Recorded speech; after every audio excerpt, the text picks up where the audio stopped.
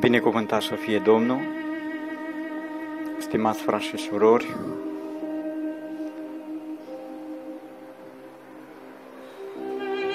aș vrea să vă spun una din lucrările pe care Dumnezeu ieri mi le-a arătat în jurul orei 5 dimineața, în timp ce mă îndreptam spre muncă.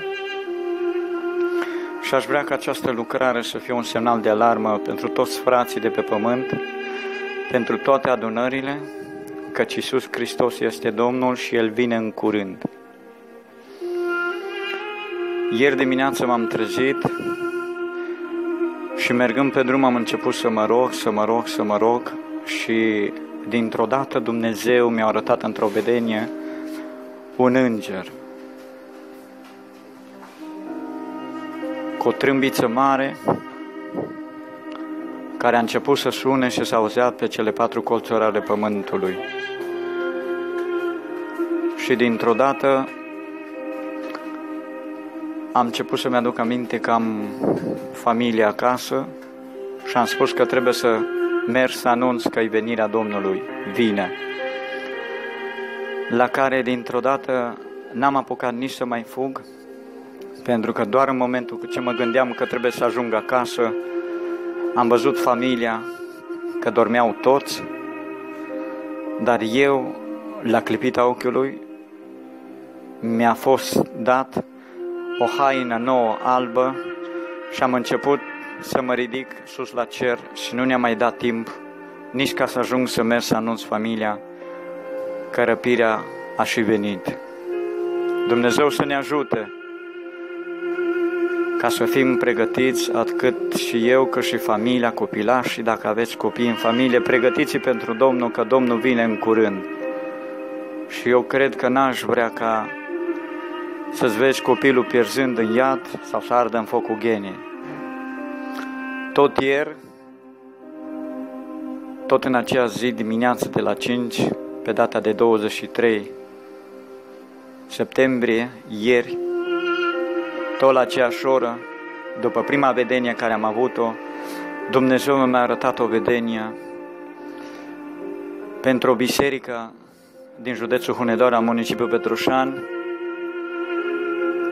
și dintr-o dată Domnul mi-a arătat starea bisericii, mi-a arătat frații, surorile, cei care erau în slujire și Domnul zis, privește și uite-te la ei. Ei nu vor avea parte cu mine, nu vor avea parte la răpire. Ei vor rămâne pe pământ. Și atunci am întrebat pe Domnul, Doamne, de ce totuși ei vor rămâne pe pământ? Care este cauza lor? Care este păcatul cu care ei se confruntă, că nu vor avea parte cu tine? Și atunci Domnul a zis, privește și ai să vezi. Și atunci am privit și în timp ce priveam, mi s-a arăta frați, surori, tineri, păstori, cum fiecare era prins în gândul vrajmei, ca fiecare să gândea, de exemplu, la o soră mi s-a arătat că ea era cu gândul cum să fie plăcut mai mult pentru soț, pentru familie și nici de cum pentru Domnul. La alt frate mi s-a arătat că el era cu gândul cum să meargă uh, afacerea mai bine.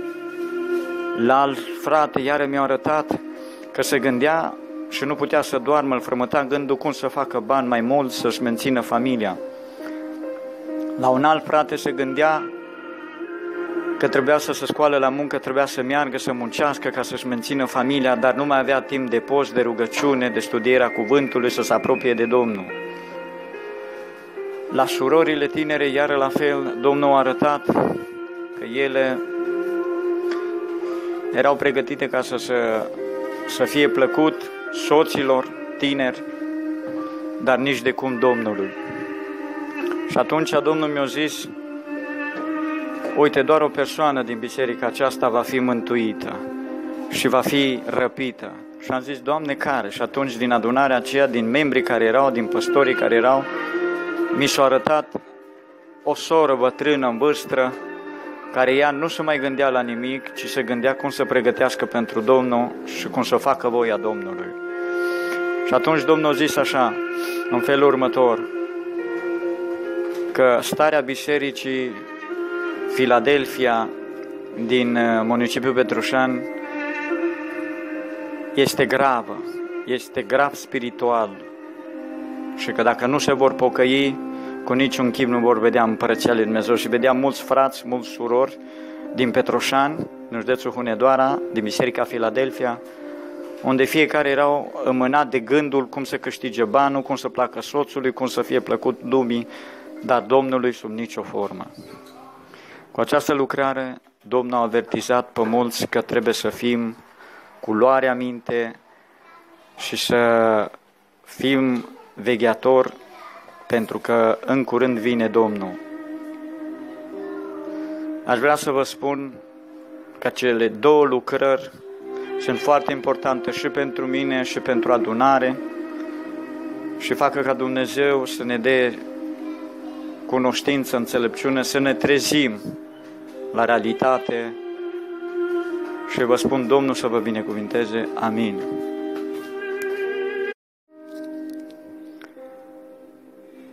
Binecuvântat să fie Domnul, stimați frați și surori,